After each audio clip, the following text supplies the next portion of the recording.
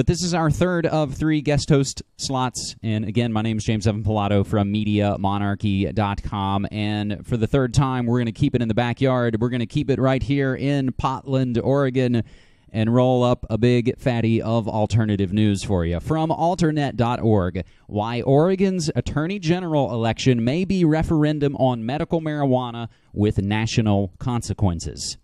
Oregon's Democratic primary for state attorney general on May 15th was widely viewed as a referendum on medical marijuana, and medical marijuana won. Ellen Rosenblum, a former state appeals court judge who promised to make marijuana enforcement a low priority and protect the rights of medical marijuana patients, won 65% of the vote. And I'll tell you, I did vote for her pretty much based on this. She defeated Dwight Holton, a former federal prosecutor who was backed by almost all the state's prosecutors and sheriffs and its two leading newspapers. Holton had called Oregon's medical marijuana law a train wreck that was putting marijuana in the hands of people, in the hands of kids that are not using it for pain management purposes. If elected, as is likely because the Republicans are only running a write in candidate, Rosenblum would become Oregon's first woman attorney general. Medical marijuana and legalization advocates contributed at least one fourth of her 600,000 campaign budget. She's also billed herself as the Oregon candidate. Holton, from a prominent political family in Virginia, moved to Oregon in 2004. The medical marijuana community here in Oregon was the swing vote, says Lori Duckworth, executive director of the Southern Oregon chapter of the National Organization for Reform of Marijuana Laws, NORML, and the Cannabis Community Center in Medford, Oregon. Holton, she says, spoke very loudly when he endorsed federal raids on medical marijuana growers in southwest Oregon last fall. Ellen gave us hope, says Madeline Martinez, head of Oregon NORML and the world famous Cannabis Cafe in Portland. Holton, in contrast, sent me a letter telling me to close my cafe because I give medicine away. The medical marijuana community has shown they're a powerful voting bloc, says Chris Hermes of Americans for Safe Access in Oakland, California. He points to California's 2010 election for state attorney general, in which Democrat Kamala Harris narrowly defeated Republican Steve Cooley, who, as Los Angeles prosecutor, threatened to raid medical marijuana dispensaries even if the city licensed them. Harris, he says, has publicly opposed federal raids on dispensaries. I think it definitely has national impact, says Jill Harris, managing director of strategic initiatives at the Drug Policy Alliance in New York, whose political action arm contributed to Ellen Rosenblum. We hope that U.S. attorneys will think twice before they adopt these hardball tactics against providers who are complying with state law. Elected officials need to recognize that they're behind the public on this issue. A Mason Dixon poll of likely 2012 voters conducted May 10th through the 14th found overwhelming opposition to enforcing federal laws against medical marijuana in states that have legalized it. Overall, the respondents opposed it by a 74 to 15 margin, with the percentages among demographic subgroups ranging from more than 60% among Republicans and people over 65 to more than 80% of people under 35 and African Americans. Others are more skeptical that the Oregon results will have a broad national effect. It certainly does alert elected officials that they ignore the pro marijuana vote at their own peril, says Keith Stroup, legal counsel at NORML's national office in Washington. But we don't want to get too far ahead of ourselves and presume we can do the same thing in every other state. In the Oregon race, he points out there was a clear choice on the issue, one not available in most other races, such as this year's presidential election. Marijuana smokers and medical users are much more organized on the West Coast. In Oregon, which has slightly more than 2 million registered voters, there are more than 55,000 patients and 28,000 caregivers registered with the state's medical marijuana program. Combined with their families, they represent a significant bloc, Martinez contends. That bloc is much less cohesive in the Northeast. Still, New Jersey slowly implementing its 2010 medical marijuana law. Connecticut's legislature in early May passed a bill that would let pharmacists dispense medical marijuana, and in New York, the state's Assembly Health Committee approved a bill to legalize medical marijuana on May 15th, same day we voted for Rosenblum here in Oregon. I don't think one race across the country will affect what happens here, says a staffer for New York Assembly member Richard Gottfried, a Manhattan Democrat who is the Health Committee's chair and the bill's lead sponsor. But we really have a lot of support here, and people understand the importance of medical marijuana. In a Siena College poll of New York registered voters taken in early May, the respondents supported legalizing medical marijuana by a 57 to 33 margin. The Oregon vote shows that public opinion and support for this issue grows and continues to grow, says New York State Senator Diane Savino, a Staten Island Democrat who's sponsoring the bill in the upper house. People in New York may not have followed the Oregon results, but they have similar concerns. The issue, she says, affects every family that's ever been touched by a terminal illness or a debilitating disease. If there's a treatment out there that would help, why would we prosecute a doctor? The New York law would allow patients to use marijuana if a physician certifies that they have a serious, debilitating, or life threatening condition for which it would help. For example, migraine headaches would qualify if a doctor believes they're severe enough.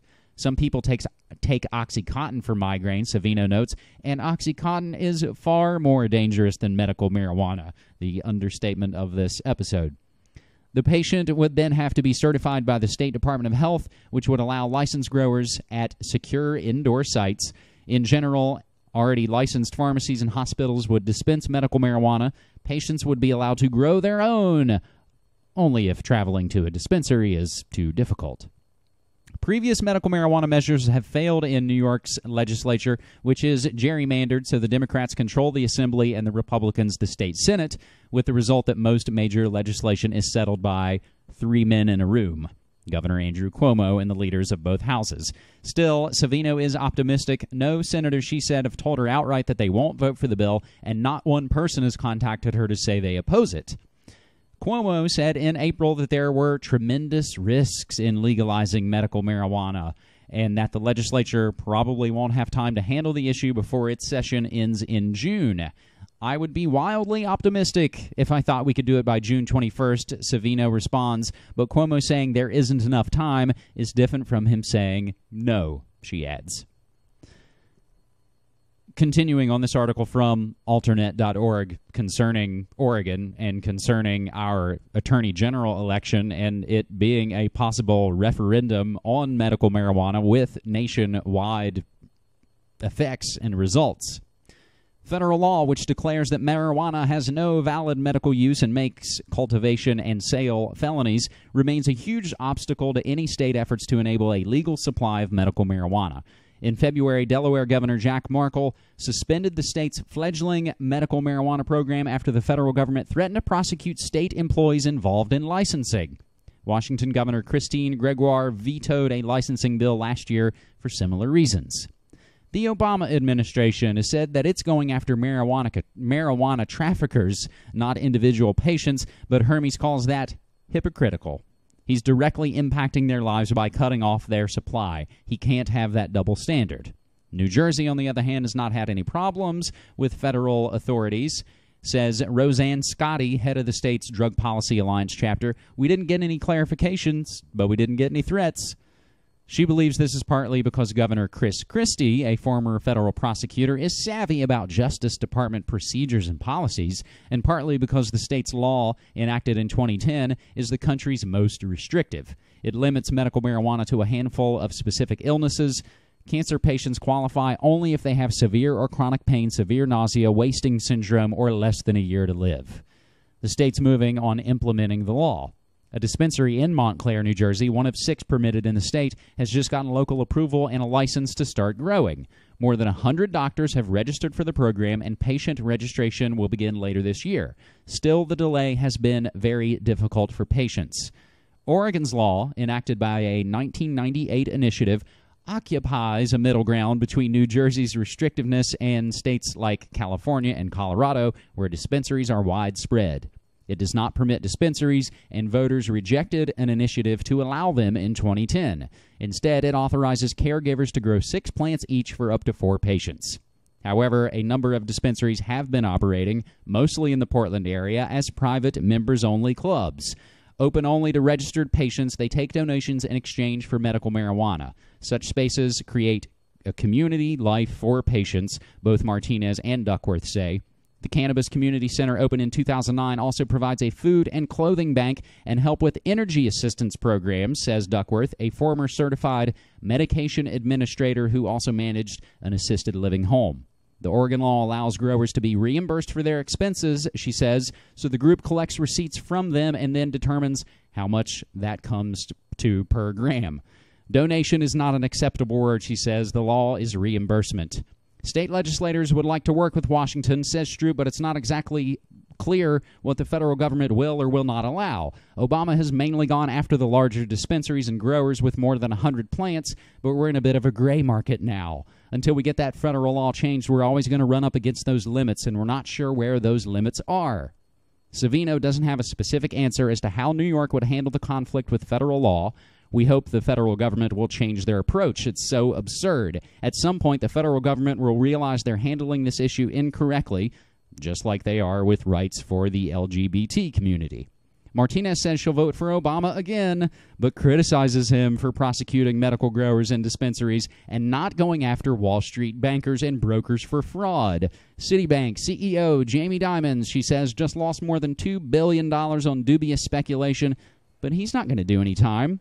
Somebody who's growing marijuana might get 99 years. That article alternet.org why Oregon's Attorney General election may be referendum on medical marijuana with national consequences is posted to foodworldorder.com. I'm James Evan Pilato, guest hosting Corbett Report Radio, and we'll be right back.